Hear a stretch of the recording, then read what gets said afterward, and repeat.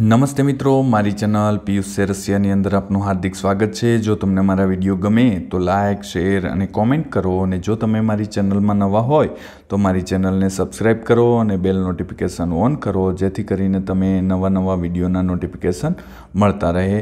બળ મિત્રો, ધોરણ ચાર ગણિત, તેમાં જે સ્વાધ્યન પોથી છે, લર્નિંગ લોસ અને બ્રિજ કોર્સ તો ચાલો આપણે તેની અંદર પહેલું એકમ જોઈએ, ઈટોની ઇમારત બાળમિત્રો બાકીના જે એકમો છે, ગુજરાતી ગણિત અને પર્યાવરણના ધોરણ ચારના તે નીચે ડિસ્ક્રિપ્શનમાં લિંક આપેલી છે, તેના ઉપરથી તમને મળી જશે.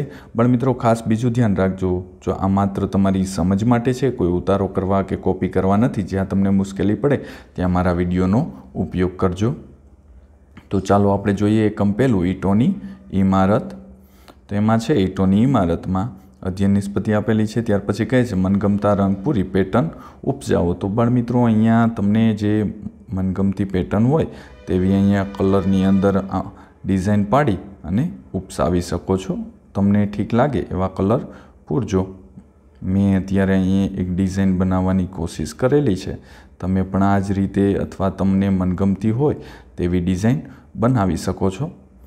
મેં પહેલાં જ કીધું તે રીતે બાળ મિત્રો તમને માત્ર આ સમજ માટે છે, કોઈ ઉતારો કરવા કે કોપી કરવા નથી. આ તમને સમજાય એટલા માટે આપણે આ રીતના વીડિયો બનાવેલા છે. આવી ડિઝાઇન તમે કોઈ પણ આ રીતે બનાવી શકો છો. તમે મનગમતા રંગથી સરસ મજાની ડિઝાઇન ઉપજાવજો ચારે ચારમાં. ત્યાર પછી છે નીચે આપેલા ચિત્રો જેવી પેટર્ન તમે ક્યાં ક્યાં જોયેલી છે? તો કે ભાઈ ચર્ચ હોય તેમાં, મંદિરમાં, મહેલમાં, ગામના પ્રવેશદ્વારમાં જોયેલી હોય તે રીતે તમારે લખવાનું છે. તમે જ્યાં જ્યાં જોયું હોય ત્યાં એ જગ્યાના નામ લખવાના છે. તો કે ભાઈ, આવી ડિઝાઇન છે તો આ જૂના મંદિરો હોય, તેમાં જૂના બાંધકામમાં, વાવમાં કે જૂના વાણી બગીચા હોય, તેમાં નીચે ફ્લોરિંગ આ રીતની ઈંટોથી કરેલું હોય છે. ત્યાર પછી છે મંદિરમાં, રાજમહેલમાં આવી જે જૂની પુરાણી ઇમારતો હોય, તેમાં આવી ડિઝાઇનની તમને પેટર્ન જોવા મળશે. ત્યાર પછી છે નીચે આપેલી ઈંટોની પેટર્ન જુઓ અને આપેલ પ્રશ્નોના જવાબ લખો. તો કે અહીંયા A B C D E F G H I J K L M N O P Q ને આર આપેલ છે. કઈ કઈ પેટર્નમાં ચોરસ બને છે? તો કે ભાઈ A K F L N O M R Q અને આરમાં કઈ પેટર્નમાં લંબચોરસ બને છે? તો કે બધી જ પેટર્નમાં. ત્યાર પછી જે કઈ કઈ પેટર્નમાં ત્રિકોણાકાર જોવા મળે છે તો કે A E F H J Q ને આરમાં કઈ પેટર્નમાં વર્તુળકાર ભાગ દેખાય છે તો કે પીમાં કઈ બે પેટર્ન સરખી દેખાય છે તો કે સી આઈ અને કે એન અને ક્યુ અને આર આવશે. ત્યાર પછી જે ચાર નંબરે અહીં તેલના ડબ્બાનું ચિત્ર આપેલું છે. ચિત્રના આધારે નીચેના પ્રશ્નોના જવાબ લખો. તો ડબ્બાને કુલ કેટલી બાજુઓ છે તો કે છ.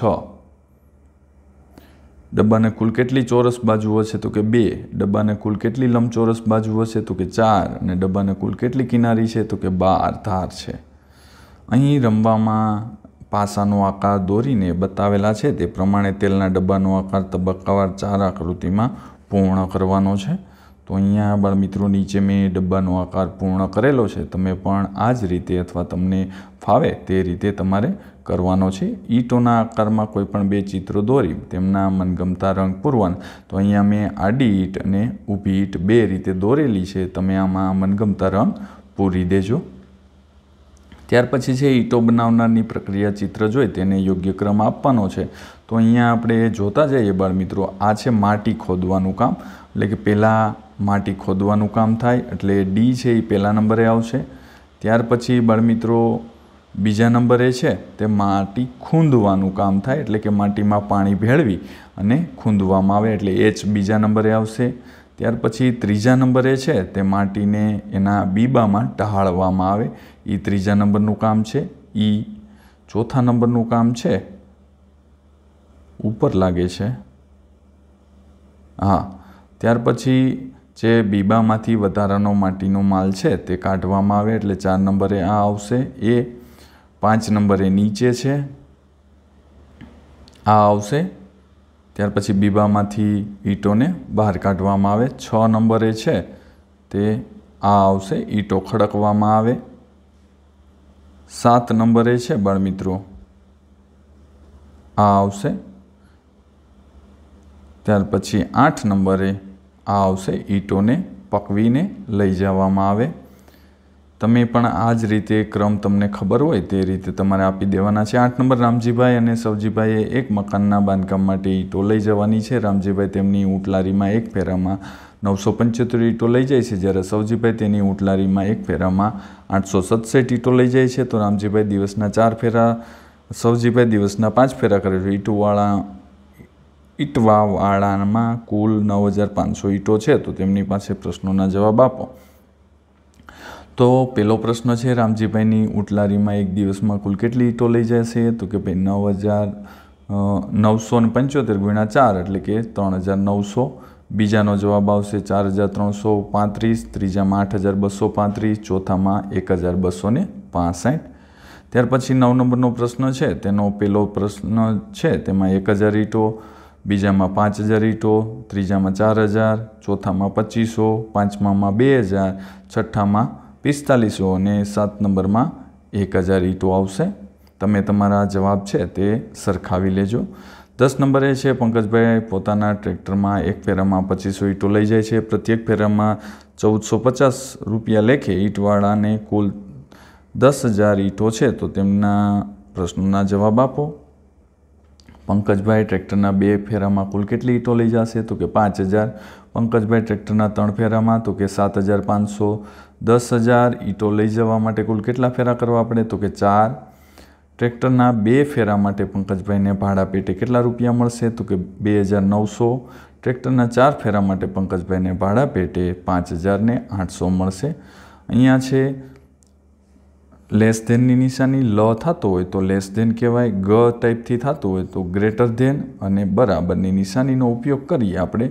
તો કે ભાઈ બે હજાર ત્રણસો સુડતાલીસ લેસ ધેન ત્રણ, બે હજાર ત્રણસો ને ઓગણપચાસ, એટલે જે બે પાંખિયા હશે, જે બાજુ એ સંખ્યા મોટી હશે, તો કે આમાં આ સંખ્યા મોટી છે, આમાં આ સંખ્યા, આ બંને સરખી છે, આમાં આ સંખ્યા મોટી છે અહીંયા આ સંખ્યા મોટી છે, અહીંયા બે સરખી છે, અહીંયા આ સંખ્યા મોટી છે, અહીંયા આ સંખ્યા મોટી છે, અહીંયા આ સંખ્યા, અહીંયા આ સંખ્યા અને અહીંયા આ સંખ્યા મોટી છે. તમે પણ ચેક કરી લેજો, તમે લખેલી હોય તે. ખાલી ખાનામાં આગળની સંખ્યા લખો. તો કે ભાઈ આઠ હજાર સિત્તેર પહેલાં આઠ હજાર ઓગણસિત્તેર આવશે. તે રીતે પાંચ હજાર ત્રણસો છાસઠ, અહીંયા સાત હજાર નવસો તોતેર, ત્રણ હજાર છત્રીસ, સાત હજાર નવસો નવ્વાણું આગળની સંખ્યા કીધી છે બાળ મિત્રો લખાણામાં આગળની સંખ્યા લખો. તો આગળની સંખ્યામાં અહીંયા ભૂલ છે, એટલે હું સુધારી દઉં છું. અહીંયા સાત હજારની જગ્યાએ આવશે પાંચ હજાર નવસો ને નવ્વાણું. ત્યાર પછી દસ હજાર પહેલાં નવ હજાર નવસો ને નવ્વાણું આવશે. ખાલી ખાનામાં વચ્ચેની સંખ્યા લખો તો આમાં છ હજાર નવસો નવ્વાણું અને સાત હજાર એકની વચ્ચે સાત હજાર આવશે. અહીંયા આઠ હજાર નવસો નવ્વાણું અહીં બે હજાર નવસો સાઠ અહીં બે હજાર સાતસો ઓગણત્રીસ અહીં છ હજાર પાંચસો એક, અહીંયા પાંચ હજાર આઠસો તોતેર અહીં ચાર હજાર ચારસો પચાસ, અહીંયા ત્રણ હજાર પાંચસો ને ઓગણસિત્તેર આવશે. ત્યાર પછી ખાલીખાનામાં પાછળની સંખ્યા લખો તો ચાર હજાર એકસો પછી ચાર હજાર એકસો એક આવશે. અહીંયા સાત હજાર ત્રણસો વીસ, આઠ હજાર નવસો નેવું બે હજાર એક, ચાર ત્રણ હજાર ચારસો ને ઓગણસાઠ, છ હજાર નવસો એકાણું, એક હજાર ત્રણસો એકોતેર, નવ હજાર બસો અને પાંચ હજાર ચારસો દસ અને અહીંયા નવ હજાર સાતસો ને અઠ્ઠાણું આવશે. નીચેની સંખ્યાઓને શબ્દમાં લખો. તો કે બે હજાર ત્રણસો ઓગણપચાસ, પાંચ હજાર બોતેર, એક હજાર ચારસો અઠ્ઠાવન સાત હજાર નવસો અઠ્ઠાણું અને દસ હજાર પૂરા આવશે. સોળ નંબરની અંદર નીચેની સંખ્યાઓને અંકમાં લખો. બે હજાર ચારસો ઓગણસાઠ, આઠ હજાર છવ્વીસ, ચાર હજાર છસો બત્રીસ, છ હજાર ઓગણસિત્તેર, નવ હજાર પાંચસો અડતાલીસ આવશે. લીટી કરેલા અંકની સ્થાન કિંમત લખો તો નવની નેવું થશે, શૂન્યની શૂન્ય, ત્રણની ત્રણ હજાર, બેની બસો અને પાંચની પાંચ થશે. બાળમિત્રો અહીંયા જે અઢાર ઓગણીસ વીસ, એકવીસ અને બાવીસના નંબરના દાખલા છે, તે આપણે નોટની અંદર કરીએ. તેમાં કે છે, ત્રણ, ચાર, નવ, આઠ શૂન્યથી બનતી પાંચ અંકની સૌથી મોટી સંખ્યા અને સૌથી નાની સંખ્યાનો તફાવત. તો સૌથી મોટી સંખ્યા બનેલી છે નવ હજાર આઠસો અઠ્ઠાણું હજાર ચારસો ને ત્રીસ અને નાની સંખ્યા છે તે ત્રીસ હજાર ચારસો નેવ્યાસી છે. તો બંનેનો તફાવત કરતાં જવાબ આવશે છ ઓગણસિત્તેર, સડસઠ હજાર નવસો એકતાલીસ આવશે. ત્યાર પછી ઓગણીસ નંબરમાં એક પુસ્તકમાં એકથી એંસી સુધીના પાના નંબર લખેલા છે. તેમાં કુલ કેટલા પાના નંબર પર ઝીરો હશે? તો કે ભાઈ, દસમાં, વીસમાં, ત્રીસમાં, ચાલીસ, પચાસ સાઠ સિત્તેર અને એંસીમાં જીરો હશે એટલે કુલ આઠ પાનામાં ઝીરો આવશે.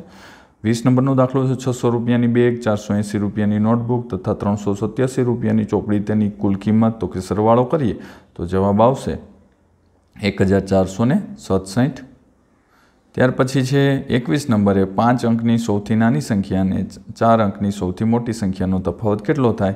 તો કે દસ હજાર ઓછા નવ હજાર નવસો નવ્વાણું, તો એક થશે તફાવત. ત્યાર પછી બાવીસ નંબરનો દાખલો, પાંચ હજાર ચાર ચોપન હજાર ત્રણસો એકાણુંમાં ચાર અને ત્રણની સ્થાન કિંમત અને તેનો તફાવત. તો ચારની ચાર હજાર અને ત્રણની ત્રણસો. તો બંનેનો તફાવત થશે સાડત્રીસો, ત્રણ હજાર સાતસો. ત્યાર પછી ત્રેવીસ નંબરનો છે એ બી સી ડી એ પાંચ અંકની ચાર સંખ્યાઓ છે. દરેક સંખ્યામાં નવ એક અંક છે, જે એક જ વખત ઉપયોગમાં લેવાનો છે. તો તે નીચેનામાંથી કયું વિધાન સાચું છે? તો કે ત્રણ નંબરનું વિધાન છે, તે સાચું આવશે. ત્યાર પછી બળમિત્રો અહીંયા છે કે એક ઈંટ બાર કિનારી હોય તો બી આવે. ઈંટનો આકાર લંબઘન હોય. ત્રણ નંબરે આપેલી સ્વાધ્યન પોથીને ચોરસ સપાટીઓ કેટલી છે તો કે શૂન્ય. ત્યાર પછી છે બાળમિત્રો, ચોથા નંબરે નીચે પૈકી કયો આકાર ઈંટનો સપાટી જેવો છે તો કે એ? પાંચ નંબરમાં સી, છ નંબરમાં બી, સાત નંબરમાં એ, આઠ નંબરમાં ડી. નવ નંબરમાં બી અને દસ નંબરમાં ડી આવશે. બાળમિત્રો, જો તમને મારો વીડિયો સારો લાગ્યો હોય તો લાઇક કરજો, શેર કરજો અને કોમેન્ટ કરજો. અને જો તમે મારી ચેનલમાં નવા હોય તો મારી ચેનલને સબસ્ક્રાઈબ કરો અને બેલ નોટિફિકેશન ઓન કરો, જેથી કરીને તમને નવા નવા વિડીયોના નોટિફિકેશન મળતા રહે. અને બીજું, ધોરણ ચારના ગુજરાતી ગણિત અને પર્યાવરણના સ્વાધ્યન પોથીના વીડિયો મેળવવા માગતા હોય તો નીચે ડિસ્ક્રિપ્શનમાં લિંક આપવામાં આવી છે. તેના ઉપરથી તમને ઝડપથી મળી જશે.